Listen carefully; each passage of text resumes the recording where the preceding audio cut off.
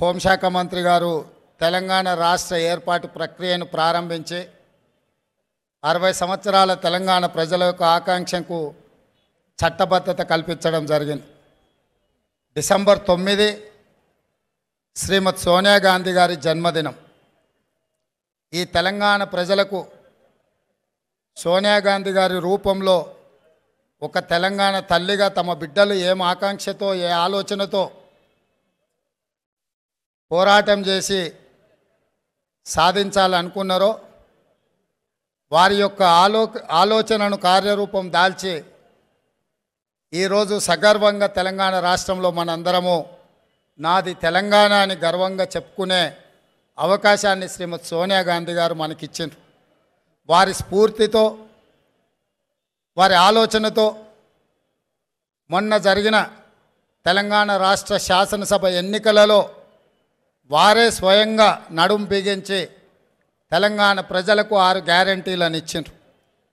ఆనాడు రెండు వేల నాలుగు కరీంనగర్ గడ్డ మీద నుంచి ఈ ప్రజల యొక్క ఆలోచన ఈ ప్రజల యొక్క ఆకాంక్ష నాకు తెలుసు.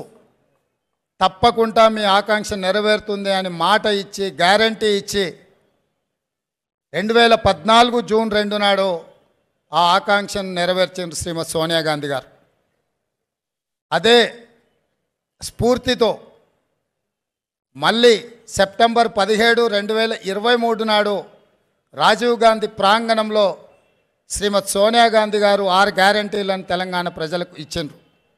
వారు ఇచ్చిన ఆరు గ్యారంటీలలో ఈరోజు అత్యంత పవిత్ర రోజైన డిసెంబర్ తొమ్మిది రెండు వేల ఇరవై మూడు నాడు తెలంగాణ శాసనసభ సమావేశాన్ని ఏర్పాటు చేసి శాసనసభ్యుల యొక్క ప్రమాణ స్వీకార కార్యక్రమాన్ని పూర్తి చేసుకొని ఇచ్చిన ఆరు గ్యారంటీలలో రెండు గ్యారంటీలను తెలంగాణ ప్రజలకు అంకితం చేసే కార్యక్రమాన్ని ఈరోజు కాంగ్రెస్ ప్రభుత్వం తీసుకున్నది.